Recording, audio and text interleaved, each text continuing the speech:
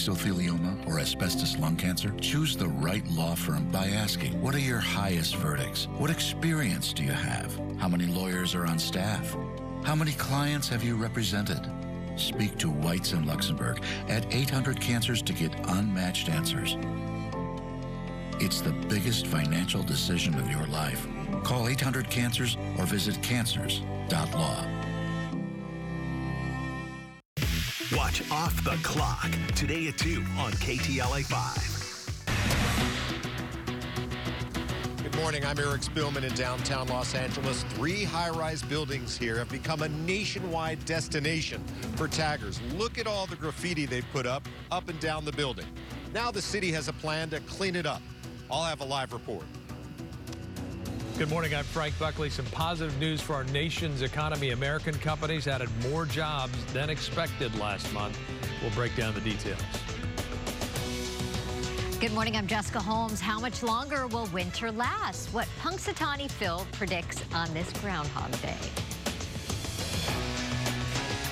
Good morning from the Pomona Fairplex behind me. The more than 1,000 hot rods, non-hot rods that are at dis on display at the Grand National Roadster Show. Check out Vaughn Hot Rod. That's his real name, and he's pinstriping a piece of the KTLA memorabilia. Stick around. The grand reveal when we come back.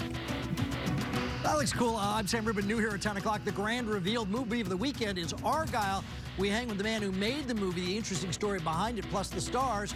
And if you're Joe Rogan,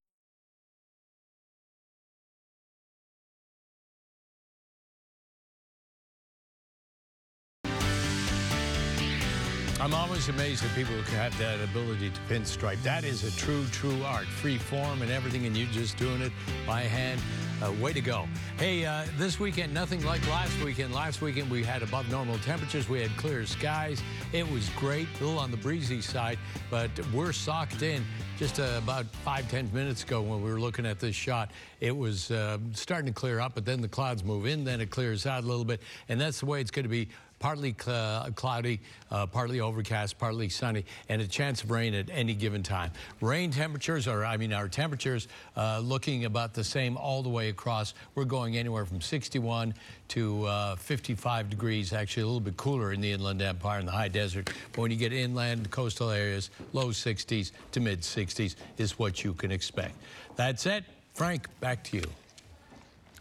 And new at 10, several suspects involved in a brawl with two police officers in New York's Times Square may have fled to California. Several outlets, including our sister station, Pix 11 News in New York, cite NYPD sources who say at least four of the men involved in Wednesday's fight were seen boarding a bus to Calexico. The suspects are among 14 men charged and released without bail after the attack. They're all believed to be migrants who were staying at a city shelter in Times Square.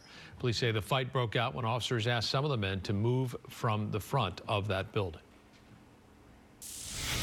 LAPD has made arrests in connection with graffiti tagged on three unfinished skyscrapers in downtown LA. Despite those arrests, more taggers seen on the high-rise balconies overnight. KTLA's Eric Spillman live in downtown LA with what's being done about it. Eric, good morning. Morning, Jessica. We just heard from City Council member Kevin De Leon. He just held a news conference here, and he says he has a plan to deal with these high-rise buildings here that have become sort of a nationwide destination for taggers from all over the place. And you can see what they've done. They've spray painted graffiti on just about every floor. These buildings are 27 stories high. It's part of a development called Oceanwide Plaza. It was supposed to be luxury apartments. The Chinese developer that owns it ran out of money and stopped construction in 2019. Now, as you can see, the taggers have been doing a lot of work here. They've been actually breaking in for weeks, leaving their mark on this place. Police arrest them, cite them for trespassing, and then release them, but they come right back again and tag once again. In fact, I want to show you some pictures from overnight, actually early this morning, where you could see the vandals at 1 a.m. wearing hoodies and spray painting more graffiti on one of the higher floors here. We spoke to Councilmember De Leon. He says the city has is issued an order to the U.S. holding company that owns this property, demanding that they secure the place better and that they get rid of the graffiti by mid-February. He says the city could slap a few liens on the property. I asked him why the taggers aren't really being punished for what they're doing here. The unfortunate part is folks are not being prosecuted for trespassing, but also to I want to send a clear message that our very own LAPD, they cannot be the private security force for Oceanwide developers.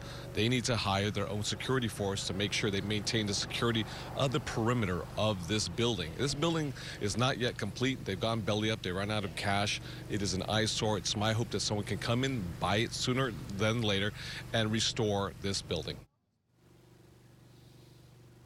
Councilmember De Leon says if the developer or the owner of this place doesn't take action here to clean this mess up and to keep out the vandals, the city should take care of that and send the owner a bill to pay for it. He's introducing a motion today at City Council uh, that would do that. And De Leon says, you heard him, that it would be great if somebody would just buy these buildings and finish the construction here. He says there is another developer who has expressed interest in buying this place and